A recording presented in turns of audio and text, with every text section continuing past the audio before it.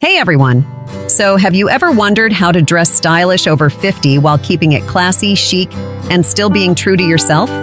Today, I'm going to show you the best outfits for women over 50 that are all about elegance and comfort. I'll be sharing style tips for women over 50, focusing on how natural, older women over 50 can wear classy outfits effortlessly, like bodysuits paired with stockings. Before we start, make sure to like this video and stick around until the end, because I want you to tell me which elegant fashion looks you like the most. All right, let's talk about the images in the video.